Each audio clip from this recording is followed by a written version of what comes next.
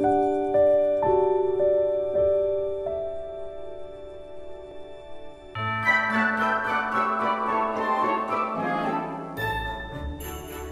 holidays, everyone, and welcome to my casa. My name is Nina, and I write the blog Sharing a Journey.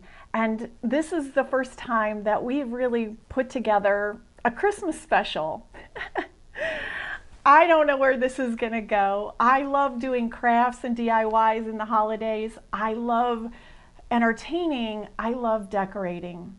But there are a few things that I don't love, and they are ending up with boatloads of decor items that I have to store in my home or in a storage unit somewhere. That's a big no-no for me. So I like to use as much stuff from around the house as I possibly can. Now this year we did things a little bit differently.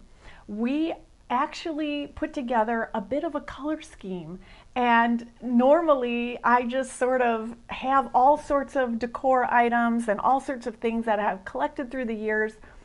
And this year we just decided that we are going to completely do it different. So I started out with a color scheme. I love gold and silver on the Christmas tree. But after I got my gold and silver Christmas ornaments up, I realized that it needed something.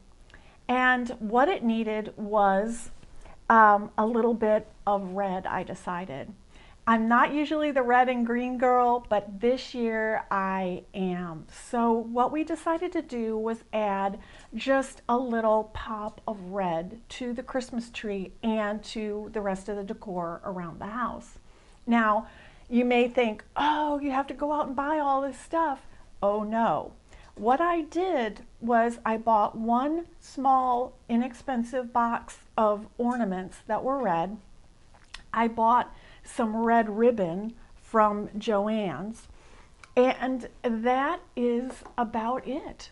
Um, so we're going to get started. I'm going to show you some of my really basic ideas to help you decorate your Christmas and save money and storage space. So tip number one, I bought brown craft paper.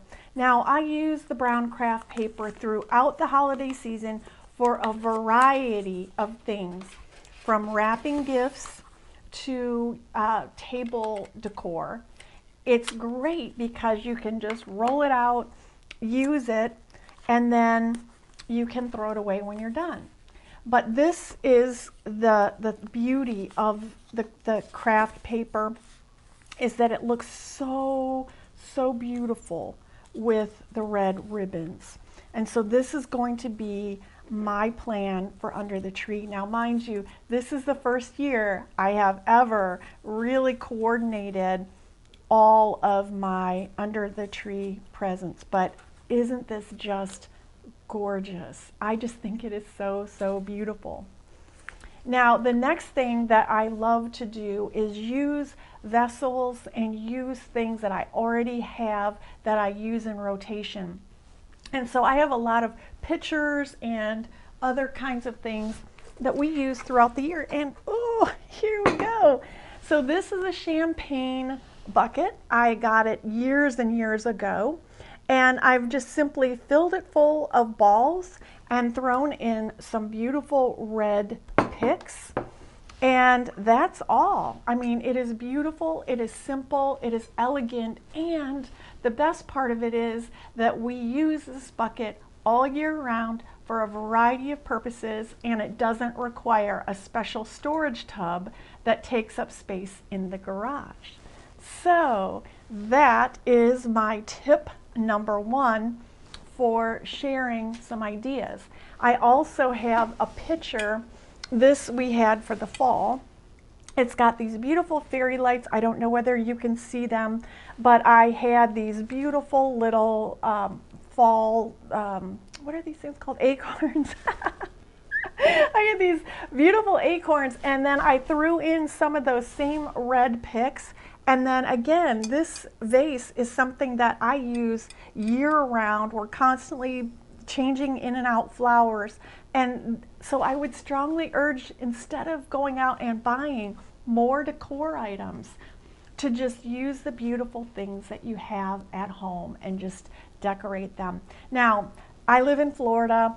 Uh, there isn't a lot of that, like the opportunities to forage for beautiful outdoor um, branches and so forth, like maybe up north. So we do use more artificial um, picks and that sort of thing, but it still is is beautiful. It takes up very little room.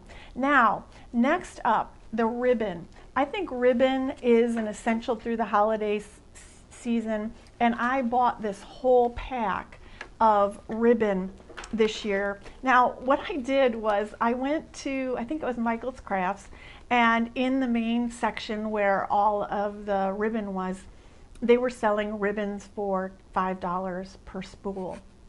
But I went back to the spot where they have all just regular ribbon, and I found this container of red ribbon all in one, and it was on sale, and I think I got it for like $3. So this is what's going to be used not only for gift wrapping, but I also use it for table decor. And so let's talk a little bit about the table. Now I'm going to be showing you some tablescapes and some beautiful things that we've done um, and we have already waiting in store for you, which I can't wait. But I have these little um, ornaments and I often just tie a little bow and then put that on the plate. That's so pretty. Uh, just a pick with some greenery in it. Or sometimes I'll just grab a ribbon and then just tie it around the napkin. And that's all sometimes you need to make a really, really beautiful little Christmas table setting. And again, this takes up no space. You, it doesn't cost very much money.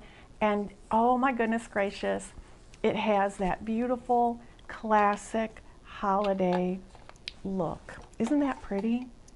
And then if you wanted to just add a little pine pick to it, it's so elegant, so good.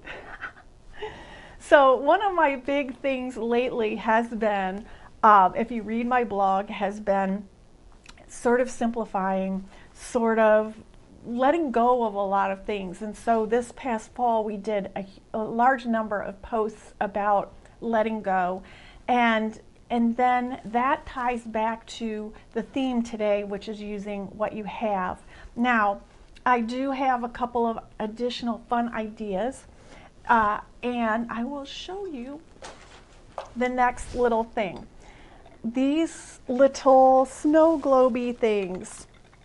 A couple of years ago, I went to the Dollar Tree and I purchased these little glass uh, rose bowls, I think they're called. My mother used to get roses and put them in these bowls, fish bowl, whatever you want to call it. I glued on a little handle, and these I got from Amazon. And I use them for a variety of purposes, but this time during the holiday season, I like to just make a simple snow globe. And you just simply have a plate, a little figurine, a little bottle brush tree, and you have something cute to set at your table or you can put them on little pedestals or put them in like in little spots where you need just to add that little bit of Christmas cheer. So that's another little idea for you for this holiday season. And with that said, I think we've started out the holidays pretty darn good. So I'm hoping that you'll hop by and just grab yourself some ribbon and some simple basics and use those this year instead of running out and buying tons and tons of stuff.